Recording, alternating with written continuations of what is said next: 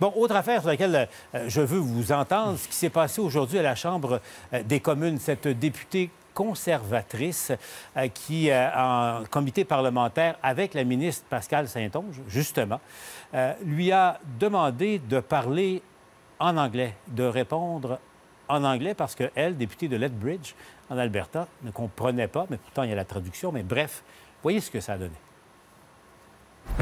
I noticed that you answer my questions in French, but other English questions you answer in English if they're from your Liberal colleagues. Um, I realize it's completely your choice. We're a bilingual country, um, but if at all possible, I would, I'd love to have it. Rappel au règlement, Point of Madame la order. Présidente. Yeah, Rappel au règlement, Madame la. Présidente. Madame la Présidente, j'ai pas besoin de vous rappeler et de rappeler à ma collègue que euh, nos, nos invités, comme les membres de ce comité, peuvent s'exprimer dans la langue officielle de leur choix. Nous avons un service d'interprétation extrêmement efficace. C'est- insultant pour les Québécois présentement. Je, je suis francophone, je viens du Québec. Euh, J'ai passé ma vie à défendre euh, la langue française. J'ai étudié en littérature française et québécoise.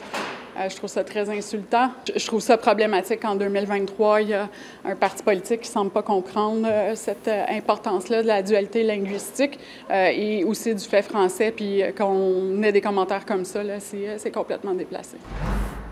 Imaginez comment ça a réagi dans l'entourage du chef Pierre Poilievre. Madame la députée Rachel Thomas s'est excusée hein, euh, incidemment, mais n'empêche, n'empêche. Euh, Elsie, première réaction. J'espère. C'est tellement insultant. On parle pratiquement jamais français au Parlement d'Ottawa. Donc, quand il y, a un, il y a un ministre qui s'exprime en français, c'est belle bout de lui demander de, de parler en anglais. Franchement, là, c'est pas fort. Puis, Poiliev, c'est surtout la, la pression va être sur lui. là. Est-ce que c'est une ligne de parti? Est-ce que c'est latent? Je comprends que ce n'est pas, mais je veux dire, c'est latent là, dans ses rangs, lui. Gaétan? C'est une erreur de la part de la, la députée conservatrice. Je comprends son point parce qu'elle a bien commencé, mais euh, ça a mal fini parce que c'est un sujet qu'elle ne devait pas amener tout simplement. Parce que de la manière qu'elle l'a amené, c'était correct. Elle a dit J'ai remarqué que vous répondiez en anglais à vos collègues libéraux, parce que les autres, en commission parlementaire, du même côté de la Chambre, ils peuvent poser des questions au ministre. Ils font ça. Alors, elle répond en anglais à ses collègues libéraux, puis aux conservateurs et autres, elle, euh, elle- elle répond en français. Mais le sujet est beaucoup trop, c'est beaucoup trop explosif pour se vexer de cette affaire-là.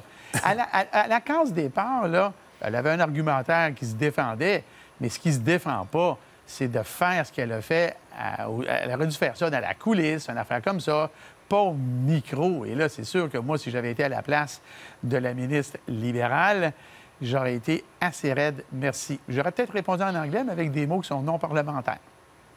Alors, moi, je trouve ça décevant, honnêtement. C'est pas comme si elle venait d'être élue. Là. Il y a Ben. des, il y a- oh, elle n'a pas eu le mémo que le Canada a deux, a deux langues officielles et que les parlementaires ont le droit de s'exprimer dans la langue de leur choix. Ben Puis oui. ça, elles- ils le savent très bien. Là. Puis là, ils sont en- sur un comité.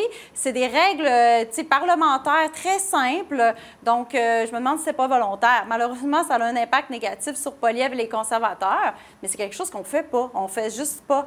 Euh, effectivement, comme Elsie l'a dit, on n'entend pas, on entend rarement parler français à Ottawa. Ben, il faut préserver notre langue quand même. Donc, c'est euh, une, ra- c'est une erreur qui est de jugement, à mon avis. Cette députée Thomas, au fond, là, et, si, et si les députés francophones, les députés québécois à Ottawa, avaient fait la même chose? C'est ça. Ah, ça aurait été la fin du monde. ou décidaient de faire la même chose, parlez-moi en français ou parlez pas? Mais oui, c'est ça. Comment ça aimerait Elle, ça. elle aurait pu lui répondre ça à Rachel ça. Thomas. Elle aurait pu dire, ben, à partir de maintenant, vous allez me poser vos questions en français. On est, on est un pays bilingue. Vous êtes supposé être bilingue ici, là? Non, mais de toute façon, c'est de la Voilà. là. Tout le monde le sait très bien, là, que cette idée de bilinguisme canadien, c'est juste au Québec que Ben ça oui. se vit. Puis un petit peu à Ottawa. Mais il y a combien de ministres qui ne parlent ni un traître mot français, puis de Énorme. députés dans le reste du Canada? Donc, euh, Et c'est je suis sûr, je suis excessivement sûr qu'elle va sortir le clip dans ses réseaux sociaux, puis dans sa clientèle, ils vont la trouver bien bonne. Tu penses? Pour ça, Ah, de ça? ça me surprendrait pas, ça. Ouais, pas Il sûr. y a une clientèle pour ça. Non, moi non plus, Ouais, je suis ouais. d'accord avec toi. Pan-Canada, c'est une erreur. Pour une clientèle spécifique? Local. Oui, locale, c'est ça.